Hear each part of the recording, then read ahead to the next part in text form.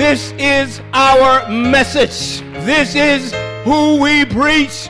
Christ died upon the cross. He was buried and he rose again with all power in his mighty hand. This is the good news of God concerning his son.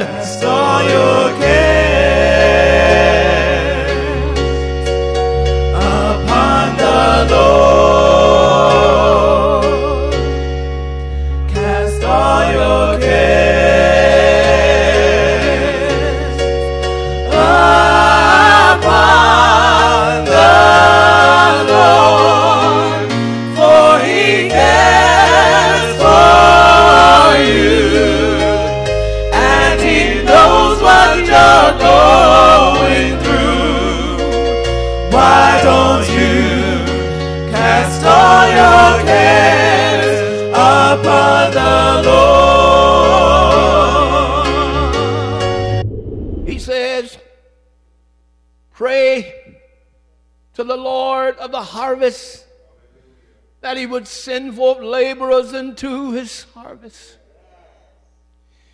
So he did something about it. In the next chapter, here we see that he called to himself the disciples and he anointed them and sent them forth. He realized when he operated with the limitations of humanity, he knew that that wasn't sufficient. And so he took and he anointed 12 others and he dispersed them. Luke tells us that beyond the 12, that still wasn't sufficient. The Bible says, and the Lord anointed other 70. Everybody with me? He looked upon the masses, he looked upon the multitude, and God's heart throbbed of compassion because he wanted to heal them. Are you with me? He was saying there is a need for more of the Jesus ministry. He was saying there's a need for more of my followers to copy what I have been doing. Are you hearing what I'm saying? So it is the time where God, He was talking to me about the compassion and putting upon my heart, uh, there's more that I want from you. There's more that I want from you. Oh, people are hurting, they're hurting, they're bruising, they're battered, and they're being exposed and exploited by many different things. And it's like He said, I want more from you. I want more of my compassion displayed that people might know that I really care. God said in the Old Testament to Moses, He said, Moses, I've seen, I've surely seen the afflictions of my people, and I've come down to help them. Moses said, What you gonna do? He said, I'm sending you. You don't know how God may be responding to the needs at this hour. But as we are sensitive to God, He wants to get our full undivided attention and say, I'm putting in you and I have put in you uh, my spirit and my life. Um, hallelujah. And my gifts and my anointing um, because I want to show the compassion that I have for hurting humanity. They are like sheep having no shepherd. So there is room. Look at somebody say, There is room for all of us to work in the vineyard of our God. Hallelujah. There's much room. Hallelujah. Hallelujah. Oh, so now he said, Pray that the Lord of the harvest would send forth laborers. I hope it stirs you like it stirred my heart. Oh, there's so much work to be done. Hallelujah. When we take on His values, are you hearing me? And we take on His commit, our commitment for His cause. Are you with me? It'll move you to do something about it. And this is what God wants to move us into the action. But I want you to know that for us individually, God says, I'm going to do something about your situation because I have compassion. I've seen these people were, hallelujah, subject to demon, demonic activity.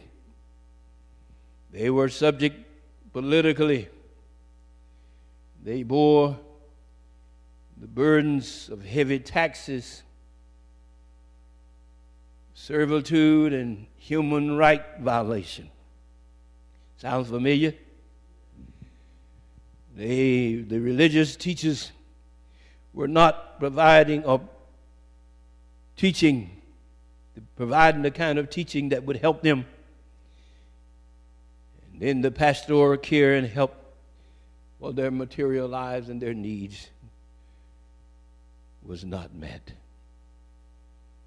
They endured also leprosy, fevers, chronic illnesses, demon possession, blindness, paralysis, and many other troubles. Jesus knew, but he responded with compassion. I am so amazed that somebody as mighty and as important as Jesus. Can I throw a little tidbit in here? The less important we feel, the easier it is to respond to human suffering. I looked at this, and somebody said, Jesus here, so and so and so, this is my, my daughter's got a problem here. Jesus says, I will come and heal her. This is the Lord from heaven. And I thought about myself, good God. Sometime, I don't know, to be willing like that. But thank God he's working on me. But every one of those situations that I read, here he was. I'll come and help. I'll come and heal. They say, do so. He just got right up. Look at the humility. Look at the love that he has. Look at the compassion of Jesus. So he needs, he said, pray to the Lord of harvest that you have raise up more Jesus kind of ministries. Isn't that right? Ah, pastors, if you're like me, this is good for you. But God is like He's saying, don't, you know, no, don't get too important. That human needs, you're overlooking them. If it was, if Jesus could meet the needs of the common man, it tells, it tells us, and he's a bishop, is that right? He's a great apostle, isn't that right? I, I, I'm like the preacher said on yesterday, that was for me. But God is crying out and saying, I'm, I'm, I've anointed you now. I have compassion upon the hurting ones. Yeah, I'm giving them my word that I might straighten things out for them, but now I want the compassion to embrace them, deliver them. Somebody gonna get delivered today. Hallelujah. Glory to God. Hallelujah. Jesus responded with compassion. We need an integrated approach that fully meets the needs of people that are hurting and harassed. But this work needs prayer. Isn't that right? it's just not uh, something that we, out of our human effort, can do, right? It takes God. It takes the Holy Ghost, somebody hallelujah, that can meet people need. Isn't that right? I, I marvel at uh, how, from what statistics say, how far we are from the gospel being preached to all the world with all of our technology today. And then Paul said the gospel had been preached to all the then known world during his day. What was the difference? They didn't have the technology. They relied on the Holy Ghost. That was the difference. If we begin to rely more on the Holy Ghost than all this stuff that we're trying to put together, we'll reach more people.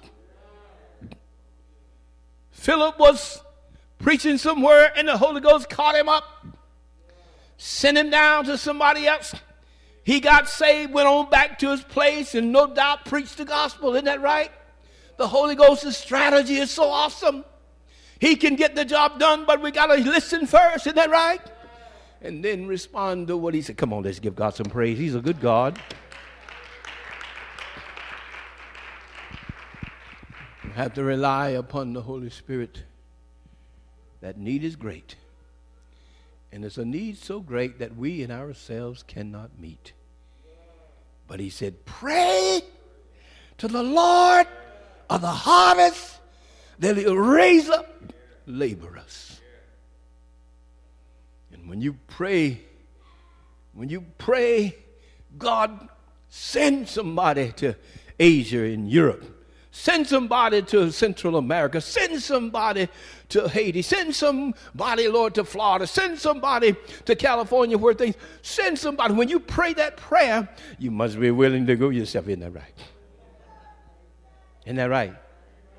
I heard somebody say, Well, I ain't going to pray that prayer. but we must be willing because he just may say, Well, I want to send you. Isn't that right? He may say that.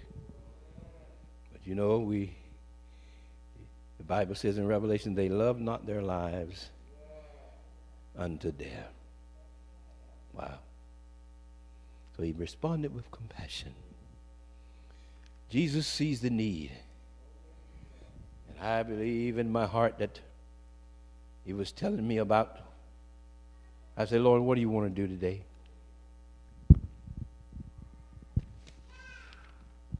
God says, I want to heal. I want to deliver. I said, God, what do you want to do? What do you want to deliver? And he began to talk to me about what he want to do.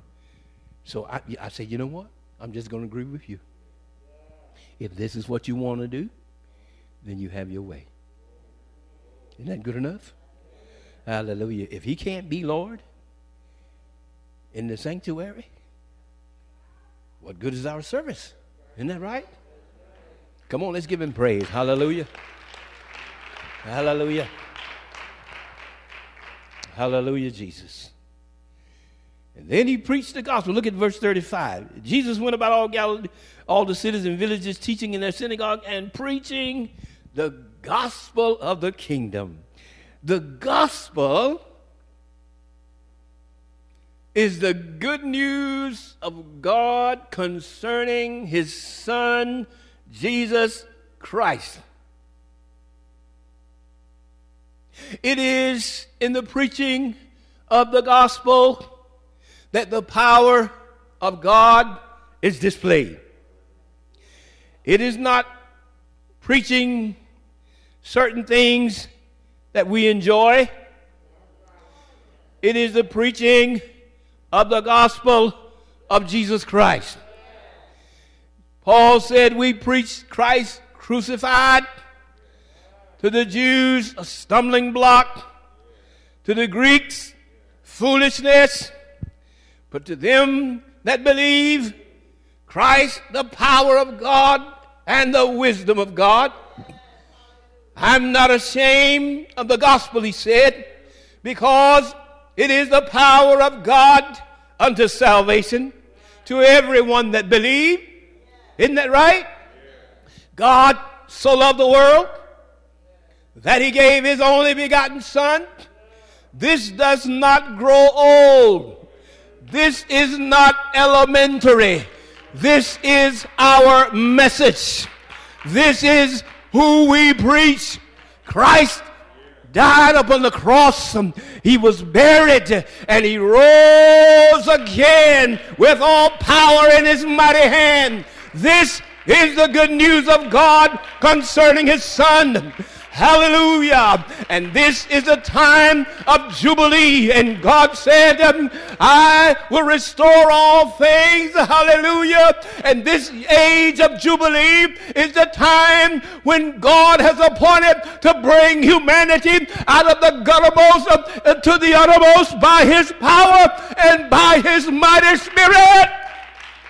It is the preaching of the gospel of Jesus Christ uh, that men might be saved. It is the display of the power of the kingdom of the Almighty God uh, that men must hear and be delivered by the divine power of God. Hallelujah. It is not plans. It is not programs. It is God. It is the power of God through the foolishness of preaching the gospel of Jesus Christ. Paul said, I'm not ashamed of it because I preached it. And as I preached it, I saw lives change. I saw the power displayed. I saw lame people walk.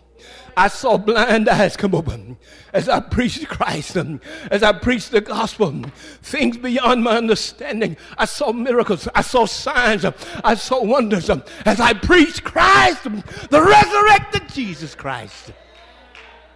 Foolishness to the Greeks, or to the Jews. Hallelujah. But it is the power of God to save humanity. God says, Christ died for our sins. And if there's, if you're listening to me today and you're trying to be good enough to come into God's kingdom, stop it. Believe the good news and you can be saved. God will wipe your slate clean. Hallelujah. He'll cleanse you from head to toe. He'll change you. He'll put his spirit in you. He'll write your name in the Lamb's book of life. He'll forgive you of all of your sins, iniquities, and transgressions. And you'll know that there's been a change if you only believe in the good news of Jesus. Hallelujah. God did not send his son into the world. Oh, glory. Mm.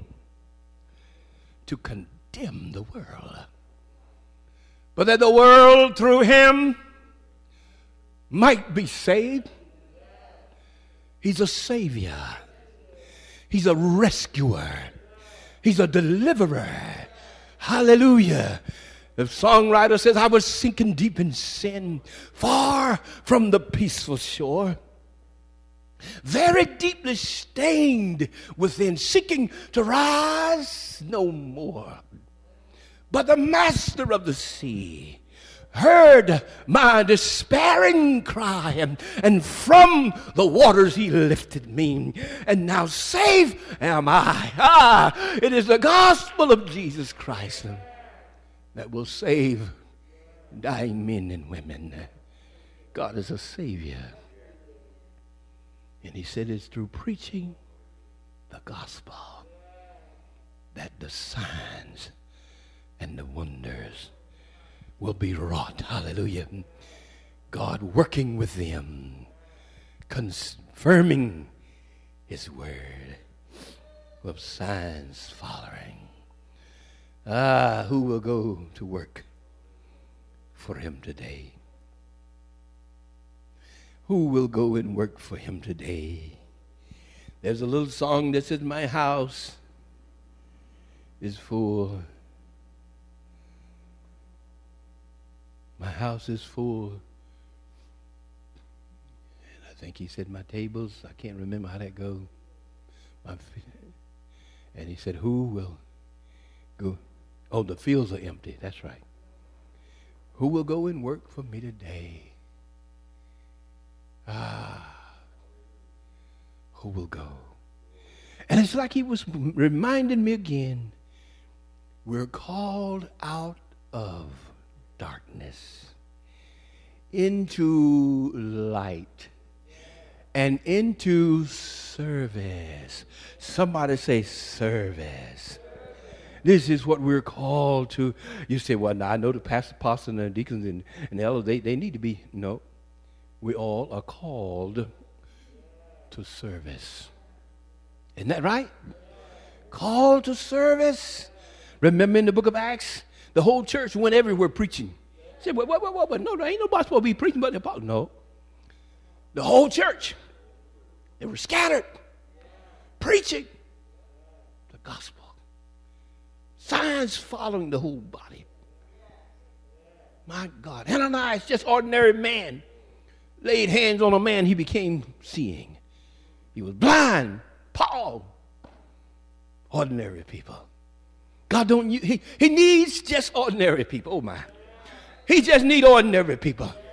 He don't need people that are just excellent in all of their, doings and their, their expertise and wisdom. He doesn't need that kind. He needs people that are ordinary, that can hear the voice of the Savior and respond so that he will get the glory and not mortal flesh. Isn't that right? Uh, when you've been down so low and you couldn't lift yourself up, and God picks you up, you give him the proper glory. Isn't that right? You don't take no credit for what you couldn't do. And that's the way it is. God takes us low that he might lift us, lift us up, that he might be glorified.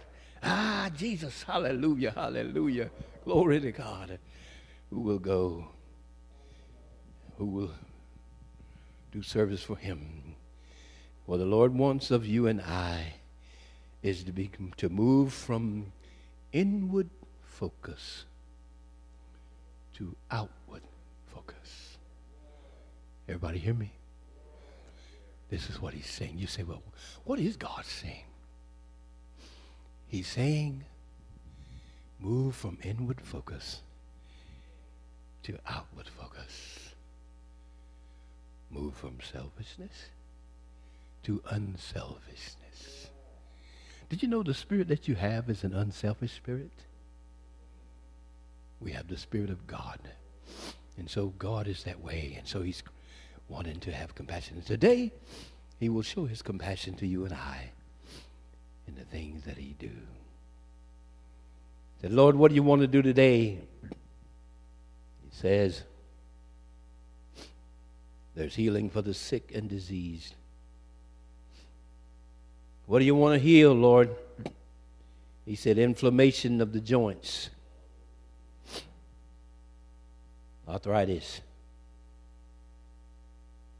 Are you out there? Do you hear me by way of TV? Are you suffering from arthritis? Do me a favor and don't call it your arthritis. Because if you want it, you can keep it. Isn't that right? Anybody hear what I'm saying? Hallelujah. God can't take from us what we don't want to give up. Isn't that right? It's mine. But God want to heal inflammation of the joints, he said. Then he said, I want to heal body aches and pain. Anybody familiar with body aches and pain? Anybody familiar with body aches and pain? Are you hearing me out there? If you're listening to this, then God want to heal you of body aches and pain. You know, you feel aches and pains in your body. You attribute it to just the body just worn down, but God want to heal you. That's what he said. I'm saying what he said. I believe God. I believe him. And then he said, I want to heal heart muscle. Some people's hearts gone very weak. It's causing difficulties. The organ is not pumping with strength, blood, so it's causing seemingly heart failure. But God wants to strengthen and heal the heart muscle. Are you hearing what I'm saying? I'm seeing what he gave to me, and I'm going to allow him to do it just like he want to do it. Because he's able to back up what he's saying if he says it. Isn't that right? Hallelujah. Come on, let's start praising the Lord for his goodness. I love you, Jesus. I love you for your goodness. I love you because of your compassion that those of you who've been suffering arthritis, inflammation of the joints, and your heart's weak, many of them, you're tired, so tired. But if you will receive today, God's going to heal your heart muscle, that organ. He's going to heal and you're going to take away aches and pains. You say, Boy, you speaking bold. I'm speaking only what He said. He's responsible for the things that He gives to me. And He's God enough to do it. Hallelujah. And then He went on to say this. He said, I want to deliver. I didn't say what you want. I changed it and said what you're going to do. Because God always want to help us, right? I said, Lord, what you going to do? And that's what he gave me, these things. He said, heal from anger, deliver from anger. I'm going to heal from unforgiveness. And I'm going to heal from fear. Isn't that good news? I think we ought to just start thinking. Let's take him together. Hallelujah. Hallelujah. Hallelujah, Lord. Hallelujah. I want to thank you, Lord. Join me in prayer. Father, thank you. Thank you for your compassion. Thank you for the compassion of our Lord Jesus Christ. Lord, I've delivered what you gave me. I proclaim the good news, Lord God, to the TV audience and to your people. And I thank you for the gospel is your power to save humanity, to heal and deliver. Oh God, we give you praise and honor right now. Glory to God. Let's thank him. Let's just begin to thank him now. If you're suffering from any one of these things that we mentioned, I want you to just start thanking him in anticipation for help, okay, from God. Thank you, Lord. Uh, stand with me if you will. Let's just begin to praise Him. Father, we thank you right now. We want to honor you, Lord God, for all of your goodness and your grace. Hallelujah, Lord. Hallelujah. Thank you, Master. Thank you, Lord, for the gospel of Jesus to heal the broken heart, to set free, Lord, the captives that's been taken by the enemy. Oh God, it is well. Send now the precious anointing. Set people free now. Every praise and glory. Oh, yes, Lord, we thank you. Thank you, Father. Thank you. Glory, glory to your name. Glory to your name. Cast all your cares